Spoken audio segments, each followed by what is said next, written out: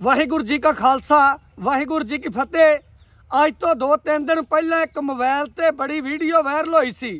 ਉਹ video viral ਕਿਹੜੀ ਸੀ? ਇੱਕ ਬੀਬੀ ਸੀ, ਜਿਹੜੇ ਪੁਲਿਸ ਵਾਲੇ ਨੇ ਥੱਪੜ ਮਾਰਿਆ ਸੀ ਉਹਦੇ।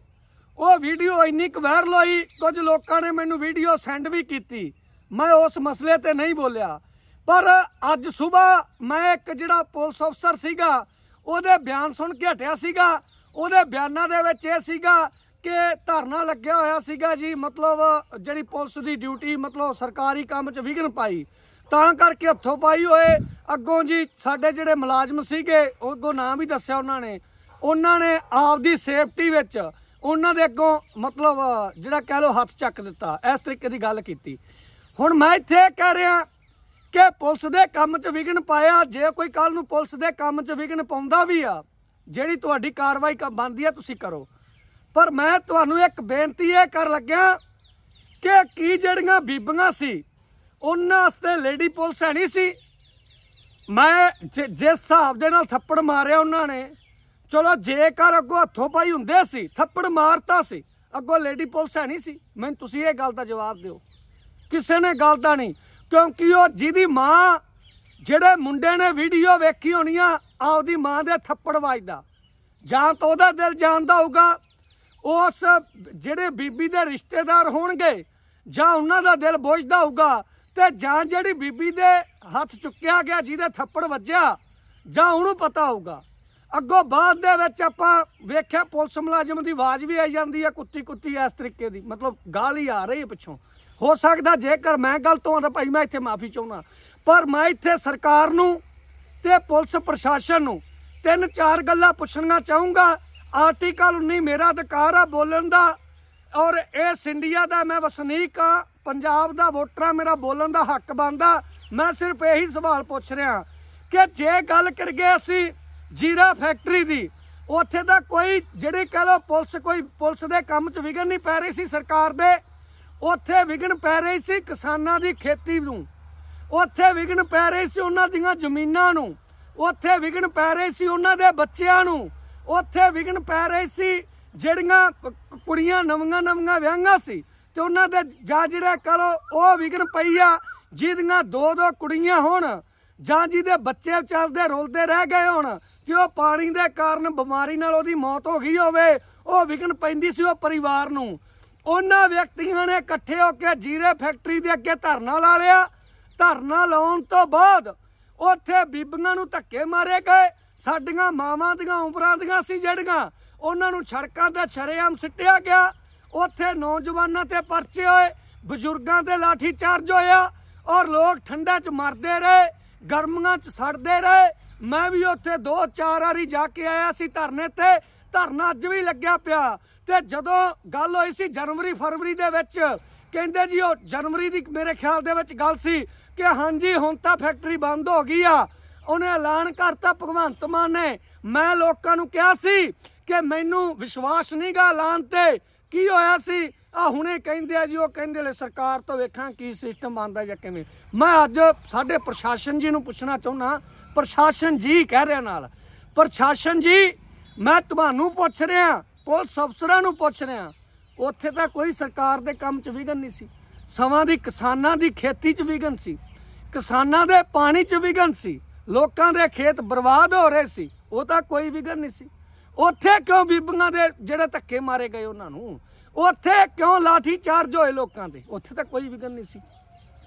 ਜੇ ਗੱਲ ਕਰੀਏ, ਅੱਜ ਤੋਂ ਕੁਝ ਕੁ ਪਿੱਛੇ ਹੋਰ ਜਾਈਏ, ਚਾਹੇ ਅਸੀਂ ਕਿਸੇ ਸਰਕਾਰ ਦੀ ਗੱਲ ਕਰ ਲਈਏ, ਜ਼ਰੂਰੀ ਨਹੀਂ ਕਿ ਇਸ ਸਰਕਾਰ ਦੀ। ਜੇ ਗੱਲ ਕਰੀਏ, ਜਿਸ ਟਾਈਮ ਤੇ ਕੈਪਟਨ ਸਾਹਿਬ ਹੁੰਦੇ ਸੀ ਮੁੱਖ ਮੰਤਰੀ, ਮਾਰਚ 2020 ਦੀ ਗੱਲ ਆ, ਸਾਡੀਆਂ ਉੱਥੇ ਭੈਣਾਂ ਦੇ ਲਾਠੀ ਚਾਰਜ ਹੋਏ ਆ। ਧੀਆਂ ਭੈਣਾਂ ਨੂੰ ਕੁੱਟਿਆ ਗਿਆ। ਨੌਜਵਾਨਾਂ ਦੇ ਗੁੱਟ ਤਾਰੇ ਗਏ। ਮੈਨੂੰ ਉਹ ਦੱਸੋ ਜੇ ਉਹਨਾਂ ਨੇ ਤਾਂ ਕੋਈ ਵਿਗਨ ਨਹੀਂ ਪਾਏ ਸੀ। ਸਿਰਫ ਆਪ ਪੜ੍ਹੇ ਲਿਖੇ ਸੀ, ਨੌਕਰੀਆਂ ਮੰਗ ਰਹੇ ਸੀ। ਆ, ਅੱਜ ਤੋਂ ਕੁਝ ਕੁ ਮਹੀ- ਕੁਝ ਕੁ ਮਹੀਨੇ ਪਿੱਛੇ ਜਾ ਕੇ ਜਾ ਕੇ ਟੈਂਕੀ ਤੇ ਸਾਡੀਆਂ ਕੁੜੀਆਂ ਚੜ ਗਈਆਂ ਸੀ। ਟੈਂਕੀਆਂ ਤੇ ਚੜੇ ਰਹੇ, ਰੋਜ਼ਗਾਰ ਮੰਗਦੇ ਸੀ। ਉਹਨਾਂ ਦਾ ਤਾਂ ਕੋਈ ਉਹਨਾਂ ਨੇ ਫਿਕਰ ਨਹੀਂ ਪਾਈ ਸੀ। ਉਲਟਾ ਚੱਕਿਆ ਗਿਆ ਸੀ ਪੁਲਿਸ ਵੱਲੋਂ। ਮੈਂ ਕੁਝ ਗਲਤ ਤਾਂ ਨਹੀਂ ਕਰ ਰਿਹਾ। ਮੈਂ ਮੰਨਦਾ ਕਿ ਇਹਨਾਂ ਨੇ ਹੋ ਸਕਦਾ ਵਿਗਨ ਪਾਈ ਹੋਵੇ। ਮੰਨ ਲੈਨੇ ਤੁਹਾਡੀ ਗੱਲ। ਪਰ ਇਹ ਮੈਂ ਇੱਥੇ ਗੱਲ ਇਹ ਕਵਾਂ ਕਿ ਅੱਜ ਤਾਂ ਪੁਲਿਸ ਦੇ ਕੰਮਾਂ ਦੇ ਵਿੱਚ ਵਿਗੜ ਪਾਉਣ ਕਰਕੇ ਥੱਪੜ ਵੱਜ ਗਿਆ। ਇਹ ਵੀਡੀਓ ਸਾਹਮਣੇ ਆ ਗਈ। ਕਈ ਇਹੋ ਜਿਹੇ ਮਾਮਲੇ ਵੀ ਹੁੰਦੇ ਹੋਣਗੇ ਜਿਨ੍ਹਾਂ ਦੇ ਥੱਪੜ ਵੱਜੇ ਤੇ ਉਹ ਸਾਹਮਣੇ ਨਹੀਂ ਆਏ। ਕਦੇ ਥਾਣੇ ਕਚਹਿਰੀਆਂ ਦੇ ਵਿੱਚ ਜਾ ਕੇ ਵੇਖਿਆ ਜੇ। ਕਿਵੇਂ ਸਾਡੀਆਂ ਧੀਆਂ ਭੈਣਾਂ ਨੂੰ ਦਾਬੇ ਵੱਜ ਜਾਂਦੇ ਆ? ਕਿਵੇਂ ਸਾਡੀਆਂ ਮਾਵਾਂ ਨੂੰ ਦਾਬੇ ਵੱਜ ਜਾਂਦੇ ਹੋ ਸਕਦਾ ਤਗੜੇ ਅਫਸਰਾਂ ਨੂੰ ਨਾ ਪਤਾ ਹੋਵੇ, ਪਰ ਇਹ ਕਿੰਨਾ ਕੁ ਚਿਰ ਹੁੰਦਾ ਰਹੂਗਾ? ਅਸੀਂ ਆਪਾਂ ਆਪ ਦੇਖੀ ਜਾਂਦੇ ਜਾਂ ਇੱਥੋਂ ਆਪਾਂ ਵੇਖਦੇ ਹਾਂ ਜੀ ਕਿਵੇਂ ਕੁੱਟਮਾਰ ਹੁੰਦੀ ਆ, ਕਿਵੇਂ ਇੱਥੋਂ ਕੀ ਕੁਝ ਗਾਲਾਂ ਗਲੋਚ ਤੁਹਾਡੇ ਅਫਸਰ ਕਰ ਜਾਂਦੇ ਕਈ ਵਾਰੀ। ਆ ਤੁਹਾਡਾ ਜਦੋਂ ਜਲੰਧਰ ਦੇ ਵਿੱਚ ਘਟ ਆਇਆ ਸੀ, ਉਹ ਲੋਕ ਸਿਰਫ ਇੰਨਾ ਕਹਿ ਰਹੇ ਸੀਗੇ ਕਿ ਜਦੋਂ ਯਾਰ ਕਿਸੇ ਦਾ ਮਕਾਨ ਢਹਿੰਦਾ ਹੋਊਗਾ ਚੀਕਾਂ ਦਾ ਕੋਈ ਮਾਰੂਗਾ ਹੀ। ਅੱਗੋਂ ਤੁਹਾਡਾ ਹੀ ਇੱਕ ਤਗੜਾ ਅਫਸਰ ਸੀ, ਜਿਹੜਾ ਅੱਗੋਂ ਕਹਿ ਰਿਹਾ ਸੀ, ਫਲਾਨੀ ਥਾਂ ਤੇ ਪਾਉਂਗਾ ਹੱਥ ਤੇ ਡੈਸ਼ ਨੱਪ ਕੇ ਰੱਖ ਦੂੰਗਾ। ਗੰਦੀਆਂ ਗਾਲਾਂ ਕੱਢੀਆਂ ਸੀ, ਪੰਜਾਬ ਦੇ ਲੋਕਾਂ ਨੇ ਗਾਲਾਂ ਸੁਣੀਆਂ ਔਰ ਪੰਜਾਬ ਦੇ ਲੋਕਾਂ ਨੇ ਗਾਲਾਂ ਵੀ ਸੁਣੀਆਂ ਔਰ ਉੱਥੇ ਔਰਤਾਂ ਸੀ, ਔਰਤਾਂ ਮੌਜੂਦਾ ਖੜੀਆਂ ਸੀ ਉਹਨਾਂ ਦੇ ਕੋਲ। ਕੋਈ ਕਾਰਵਾਈ ਨਹੀਂ ਹੋਈ ਉਹਦੇ ਤੇ। ਕਿਉਂਕਿ ਜਿਹੜੇ ਲੋਕ ਪਾਵਰ ਦੇ ਵਿੱਚ ਨਹੀਂ ਜਿਨ੍ਹਾਂ ਦਾ ਐਮਐਲਏ ਨਾਲ ਹੱਥ ਨਹੀਂ ਪੈਂਦਾ। ਮੈਨੂੰ ਲੱਗਦਾ ਕਿ ਉਹਨਾਂ ਦੀਆਂ ਧੀਆਂ ਭੈਣਾਂ ਦੀ ਕੋਈ ਇੱਜ਼ਤ ਨਹੀਂ ਸਮਝਦਾ। ਮੈਂ ਕੁਝ ਗਲਤ ਤਾਂ ਨਹੀਂ ਕਰ ਰਿਹਾ। ਯਾਦ ਰੱਖੋ, ਕੁਝ ਮੈਂ ਗਲਤ ਤਾਂ ਨਹੀਂ ਬੋਲ ਰਿਹਾ। ਕੋਈ ਝੂਠ ਤਾਂ ਨਹੀਂ ਹੈ ਸੱਚਾਈ ਆ। ਜਿਹੜੀ ਆ ਬੀਬਾ ਇੱਥੋਂ ਰਮਨਦੀਪ ਕੌਰ ਮਰਖਾਈ ਆ, ਜੀਰੇ ਦੇ ਕੋਲ ਪਿੰਡ ਰਹਿ ਗਿਆ ਕੋਈ। ਉਹ ਅੱਜ ਤੋਂ ਪਰਸੋਂ ਮੈਂ ਲਾਈਵ ਵੇਖਿਆ ਸੀ, ਰੋ ਰਹੀ ਸੀ ਵਿੱਚ ਉਹਦੇ। ਉਹਨੂੰ ਕੋਈ ਗੰਦੇ ਗੰਦੇ ਕਮੈਂਟ ਗੰਦੀਆਂ ਗਾਲਾਂ ਔਰ ਜਿਹੜੀਆਂ ਕਹ ਲੋ ਬੇ ਜਿਹੜੀਆਂ ਤਸਵੀਰਾਂ ਭੇਜ ਰਹੇ ਸੀ, ਗੰਦੀਆਂ ਤਸਵੀਰਾਂ। ਰੋ ਰੋ ਕੇ ਦੱਸ ਰਹੀ ਸੀ ਕੁੜੀ। ਉਹਨੇ ਤਾਂ ਕਿਸੇ ਦੇ ਕੰਮ 'ਚ ਵਿਗੜ ਨਹੀਂ ਪਾਇਆ ਸੀ। ਉਹ ਕਹਿੰਦੇ ਅਸੀਂ ਜੀਰਾ ਐਸਐਸਪੀ ਕੋਲ ਡੀਐਸਪੀ ਕੋਲ ਜਾ ਕੇ ਆਏ ਆ ਸਾਡੀ ਕੋਈ ਸੁਣਵਾਈ ਨਹੀਂ ਹੋਈ। ਉਹਨਾਂ ਨੇ ਤਾਂ ਕੋਈ ਵਿਗੜ ਨਹੀਂ ਪਾਇਆ ਸੀ।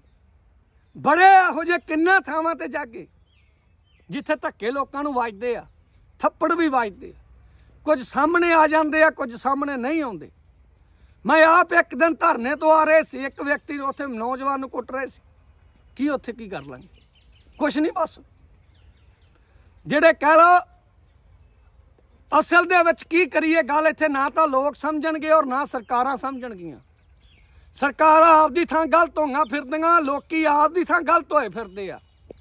ਜਦੋਂ ਜਦੋਂ ਸਰਕਾਰਾਂ ਪ੍ਰਚਾਰ ਕਰਦੀਆਂ, ਉਦੋਂ ਇਹ ਨਹੀਂ ਵੇਖਿਆ ਜਾਂਦਾ ਕਿ ਸਾਨੂੰ ਆਹ ਚੀਜ਼ਾਂ ਚਾਹੀਦੀਆਂ ਉਦੋਂ ਫ੍ਰੀ ਦੀਆਂ ਸਹੂਲਤਾਂ ਦੇ ਮਗਰ ਲੋਕ ਭਜਦੇ ਆ, ਇੱਥੇ ਇਹਨਾਂ ਦੀ ਗਲਤੀ ਆ।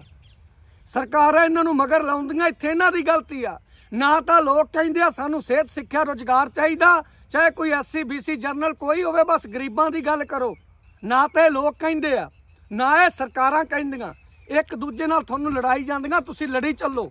ਪਰ ਮੈਂ ਸਿਰਫ ਇੰਨੀ ਇੱਕ ਬੇਨਤੀ ਕਰਨੀ ਚਾਹੁੰਦਾ ਲੋਕਾਂ ਕੋਲੋਂ ਵੀ ਪਾਰਟੀ ਤੋਂ ਉੱਪਰ ਉੱਠ ਕੇ ਗੱਲ ਕਰੋ ਜੇ।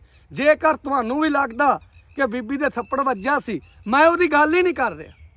ਉਹ ਕਹਿੰਦੇ ਉਹਨੇ ਕੰਮ 'ਚ ਵਿਘਨ ਪਾਇਆ, ਮਤਲਬ ਸਰਕਾਰ ਤੇ ਜਾਂ ਪ੍ਰਸ਼ਾਸਨ ਦੇ ਵਿਘਨ ਪਾਇਆ। ਪਰ ਜਿਹੜੇ ਦੂਜੀਆਂ ਸਾਡੀਆਂ ਧੀਆਂ, ਭੈਣਾਂ, ਮਾਵਾਂ ਨੂੰ ਧੱਕੇ ਵੱਜਦੇ ਆ ਧਰਨਿਆਂ ਤੋਂ ਤਾਂ ਕੋਈ ਵਿਘਨ ਨਹੀਂ ਪਾਉਂਦੇ। ਉਹ ਤਾਂ ਸਿਰਫ ਆਪਦਾ ਹੱਕ ਹੀ ਮੰਗਦੇ ਹੁੰਦੇ ਆ। ਉਹਨਾਂ ਨੂੰ ਕਿਹੜੀ ਗੱਲੋਂ ਇਹ ਗੱਲਾਂ?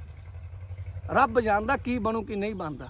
ਕਦੇ ਥਾਣੇ, ਕਚਹਿਰੀਆਂ ਹਸਪੀਟਲਾਂ 'ਚ ਜਾ ਕੇ ਆਮ ਜਨਤਾ ਦੀ ਗੱਲ ਸੁਣੋ। ਆਮ ਜਨਤਾ ਦਾ ਦਰਦ ਵੇਖੋ।